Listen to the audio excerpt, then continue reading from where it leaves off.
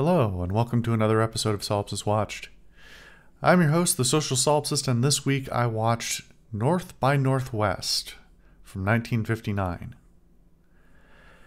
Now, this is a movie that I think a lot of people know of and a lot of people talk about in cinematic circles, but not a lot of people have necessarily watched and maybe don't talk about directly as much.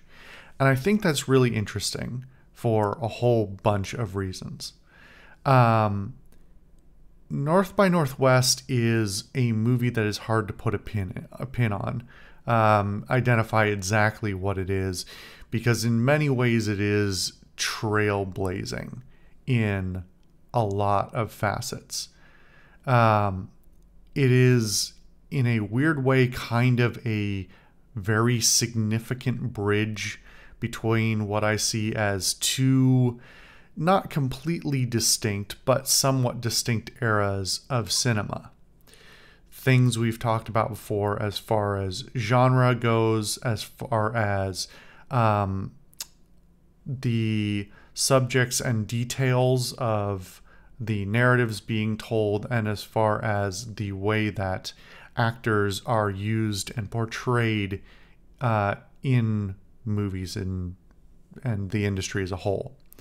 Um, so to have a movie by Hitchcock um, be one of the, you know, iconic movies of, of, of a turning generation is not a surprise on its own. Um, Hitchcock earned his reputation for a good reason. However, for me, as somebody who has had less direct experience and less um, wasn't there obviously for watching as that cinema turned over and who hasn't heard too many people talk directly about this movie other than to say that it's very good and it's a much must watch um, it's it kind of threw me for a loop in a very good way um, I had some preconceived notions going into this, and in fact, that was part of the reason I hadn't watched it um, more readily prior to this. I've watched a few Hitchcock films, um, uh, and I always enjoy them. Hitchcock is a master of his craft, no doubt. He earned his reputation, like I said, for a good reason.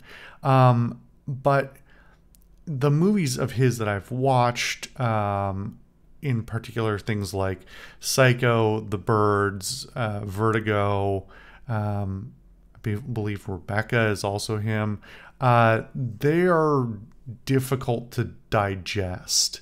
Um, they're not easy watching. Um, a lot of those fall into sort of horror or horror adjacent things, thrillers, and those sorts of things. And he loves to play with um, cinematic language in ways that are sometimes kind of shocking, um, even to modern sensibilities. Um, but, and, you know, so I have this preconceived notion of what I might be getting with Hitchcock. Um, and the details around this film don't necessarily betray what it is under the surface. So I had gone into this with certain assumptions that this might be at least adjacent to some of those those expectations and what I had seen before. What I was not really prepared for was that this would take so many twists and turns, both narratively and thematically. This ties in a whole bunch of different genres, and I'm going to be careful to not even mention what they are because I don't want to betray uh, what this movie is until later in this video when I will signpost this a little bit better.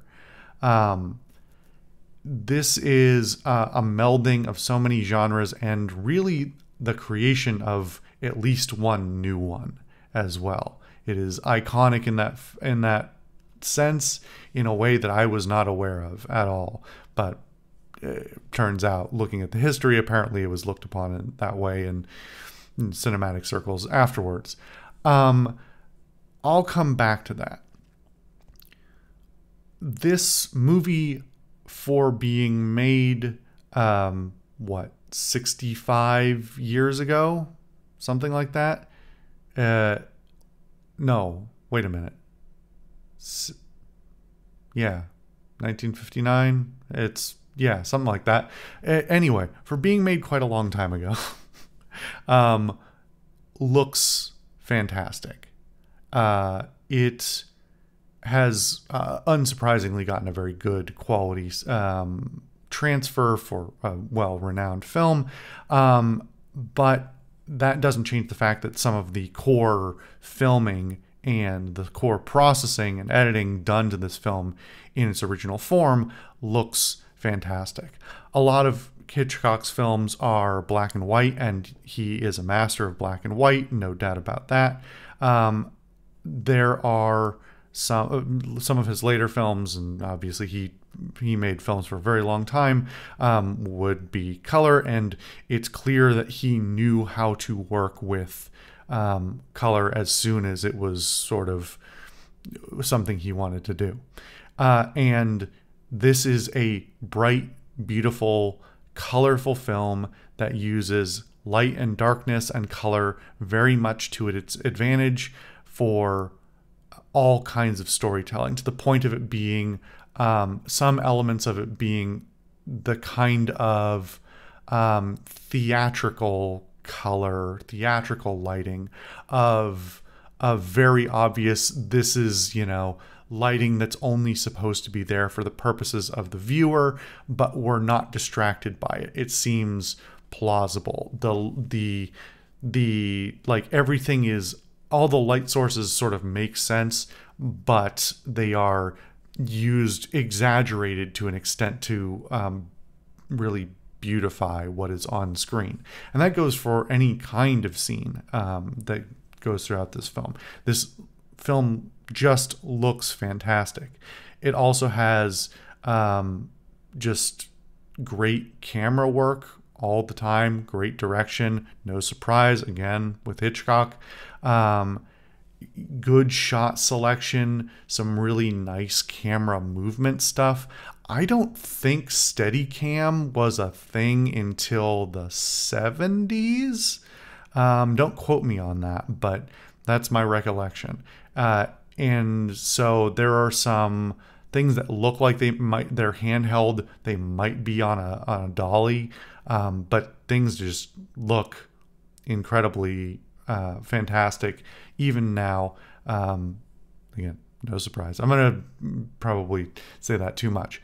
Um, the uh, in addition to all that, the sets, and there are many, there are many locations um, in this film that go everywhere from like small rooms to enormous rooms full of people um, uh, to outdoors um, in, you know, just the weirdest place you would not expect to be for this movie. Um, it goes all over, and every scene looks fantastic. There are certain elements that, if you're really nitpicking, you could say, "Man, that didn't age well," but I would tend to disagree. And I'm going to that that I'm to specifically to, um, point towards some of the uh, analog compositing that was being done at the time. This is very common for all kinds of well, even now. Um, but uh, the use of matte painting and um, like secondary projection systems and stuff like that to allow for the compositing of uh, actors into locations where they aren't, or to um, put two scenes together to make them um, to make one you know cohesive scene. Really, really well done through and through. Um, also, you know, those some those same techniques are used to do uh, incredible things that are not actually possible or wouldn't have been possible sometimes with a camera and technology of the time. Uh, sometimes things that aren't even possible now that would probably just be done with CG these days. Um, but that's the beauty of using some of those traditional techniques like matte painting um, is you can you can really compose something that's sort of out of this world. Um, and that is all served by uh, a score that I think, while not specifically really remarkable, is very strong, and uh, an incredible cast that puts on fantastic performances um, from end to end. This is not only our lead characters, but um, every minor character, and there are many throughout the, the course of this film. This is a very complicated film as well. This is a runtime of like two hours and 15 minutes, I think, and uh, it it is not it, it keeps a fantastic pace. The the pacing is really good and it is moving at a quick clip through, uh, throughout its entire run in a way that I think is not completely uh, unusual, but kind of unusual for the time. Um, put a pin in that when we talk about genre. The the way that this all comes together is incredibly satisfying. Fantastic performances, filmed fantastically on fantastic sets with great um, costuming as well. Almost missed that one. Costuming is a star in this film. Everything from characters who change their clothes all the time to characters who never change their clothes, to the point that um, Cary Grant's character's uh, suit is so iconic um, that it's really like defined a whole series of fashion waves. Um, you can see like some of the the influences in the design of his suit. And anyway um that's a, the, the suit is a character unto itself. It's fantastic.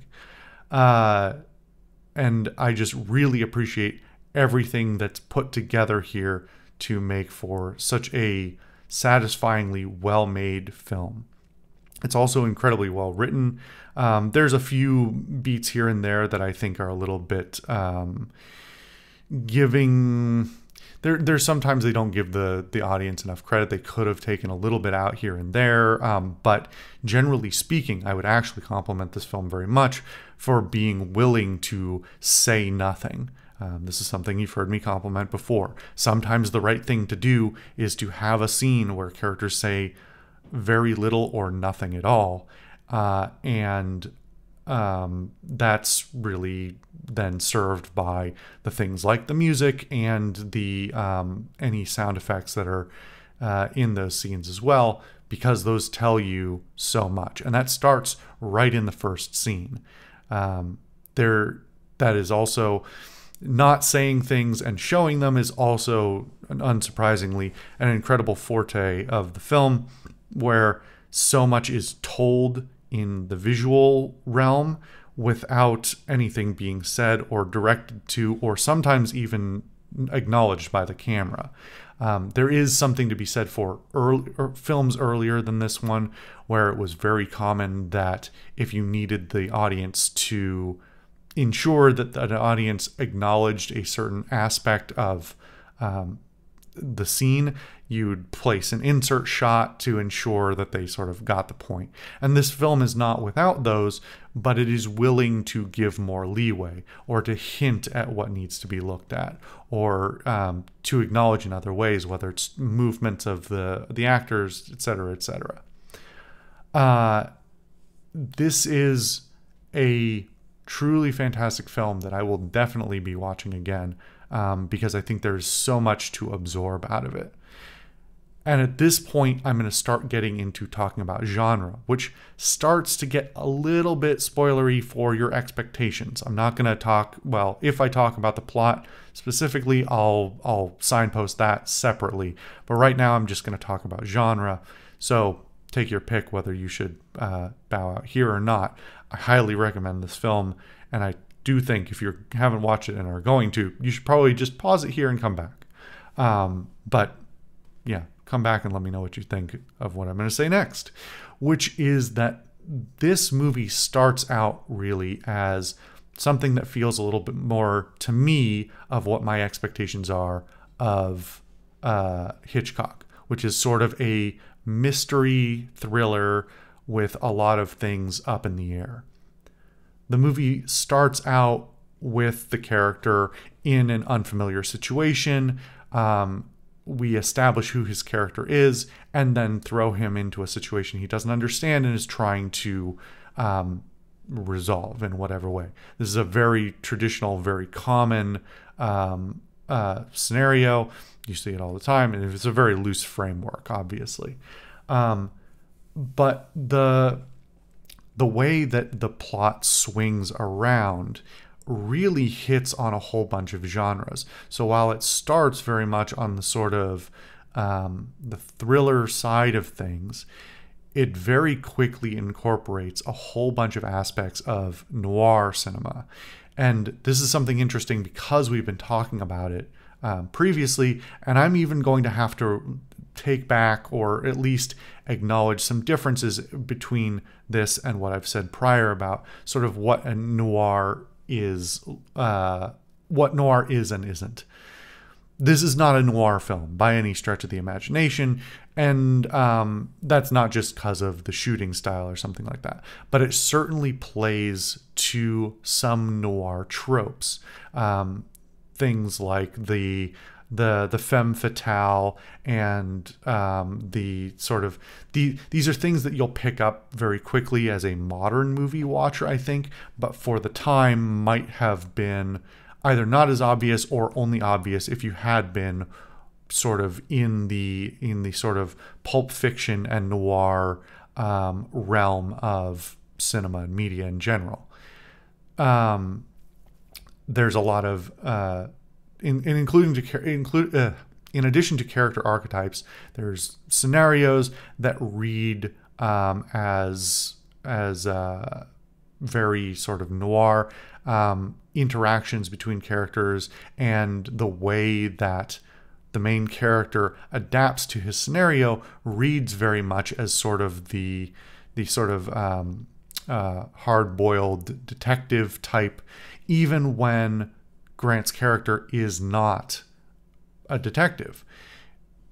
His character really has an arc throughout this film that is some a little bit unbelievable if you pick at it too much, where he goes from being sort of a, a random guy, seemingly, to being rather capable in a whole bunch of different scenarios. However, it does balance very carefully um, to not make him le- like overly competent, competent and uh, overly capable in a way that's unbelievable. These are everything he does is done in a way that is. Uh, I could understand why he might do that, or why he might um, like have that intuition or have that particular skill. Um, and that gets into sort of that that noir detective thing of like the noir detective is a little bit of a like jack of all trades. He always knows how to do this, that, and the other thing, whatever is needed to push his his uh, investigation forward. Um, what's even more interesting as this goes along is that this starts to show the signs of becoming a spy thriller, uh, which is really, as I'm thinking about it, kind of a synthesis of these previous genres that it's showing at the beginning of the film more clearly. And obviously, it's impossible for me to go back in time, unwatch the film, and try and reconsider whether or not it is um, it is a spy film from the beginning. The knowledge necessary to realize that I need to be thinking that way without already having seen it is, you know, it's a paradox. Anyway, but it's it's an interesting thought process of just was this always a spy thriller from the beginning and we just sort of didn't know it? Or is it literally inventing this genre in a way on the fly? Now, it's obviously not inventing the genre. Uh, spy fiction was um, something that greatly preceded this, uh, especially um, spy fiction around the, well, especially World War II, was something that had been sort of persistent even as that war was going on, and this is quite some time later. Um, however, as far as setting certain cinematic tropes for spy cinema, and especially James Bond, this is the movie. This is the first James Bond movie. It doesn't really look like it, and it's it's not obviously by name, but in a lot of ways, even down to the way that things are shot, the way that the character carries himself, um, and the sort of the behaviors around the character.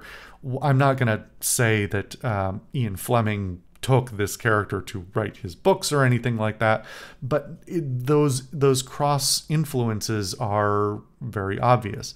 I believe the first Bond film was not made until like three years after this, maybe longer. Um, and you can see those influences. If you've got the, the Bond is a whole separate topic, and the early Bond films are rough. This is a better film than a bunch of the Bond films, especially the early ones. Um, they're rough around the edges, but it's so interesting to see that. I don't know how you could look at this film and then look at the Bond films and deny the very direct, obvious influences that are there. Um, so the the way this evolves into um, you know being about both both narratively and like structure like structurally thematically you inventing tropes or or using tropes that are notable in spy cinema but at the time were sort of i mean spy cinema wasn't really a thing up to that point so having them show up first here and then be used later is so interesting to me, especially as we're talking about um, that we've been talking about for some weeks now. This cross, uh, the, these these the way that cinema evolved from being from needing certain certain types of narratives to exist at certain points in history, um, where cowboys start to peter out because they're no longer that that sort of cultural narrative is no longer really really prevalent, really relevant. You start getting different kinds of heroes, different kinds of villains, um, and talking about the sort of way that um, socioeconomics and class, and now in the post World War II era, getting um, the the international stage to be more of a uh, more relevant to the narratives being written, those influences are are all so present in this film. And while it's not the first in any respect to any of the things it really does, it's such a creative synthesis um, that I think it deserves immense credit in that regard. Um, I don't think I'm going to actually talk about any of the specifics of the plot because I don't think I really need to. Uh, if you weren't already sold, hopefully you're sold now. Go watch it. If you're not, then uh, I mean, maybe it's just not your not your thing. But at least at the at even if you don't like the genre but you like cinema, I think this deserves watching, if only for all of the stages it sets for cinematic history going forward. But it's also an incredible film on its own and deserves to be seen. Um, I'm really still very I'm like borderline shocked by this film, by how how good it is, how influential it is, and all of the things that it now all of the other things I've watched that now have new context to be able to go, "Oh, that I can trace lineage back to this movie." It's so fascinating to me. It's one of the things I really like about art in general and in particular cinema um, for being able to understand like the influences of an art, an art form and of the artists who make it. Anyway, great film. Highly recommend it. Uh, probably no surprise there. Uh, thank you guys for watching another episode of Solipsist Watched. I've been your host, the Social Solipsist, and I'll see you guys next time.